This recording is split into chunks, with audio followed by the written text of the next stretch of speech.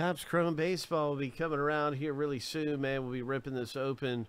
Uh, right now it's down to um, nine left in the break. So I'm updating that actually to show that it's nine left. We do have the new filler out here, so I'm getting all this stuff updated um, right now. This is the same kind of filler we have going right now with six owner names.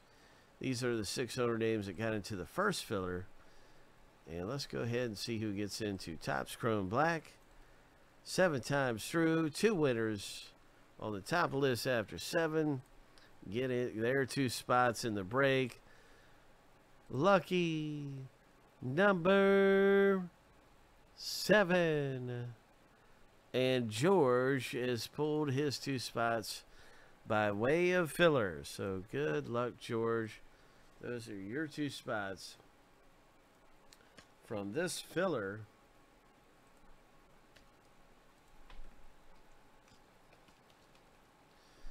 In Chrome Black Baseball. And so I'm just tallying up all the spots right now, getting things ready, looking forward to the break.